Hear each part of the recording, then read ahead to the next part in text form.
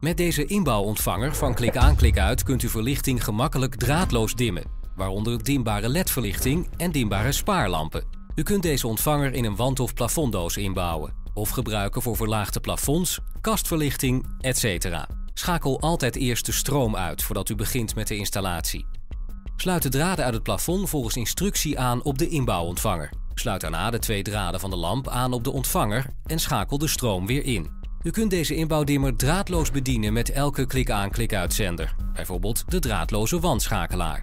U kunt natuurlijk ook de afstandsbediening gebruiken. Klik aan klik uit, eenvoudig aan te sluiten en onbeperkt uit te breiden.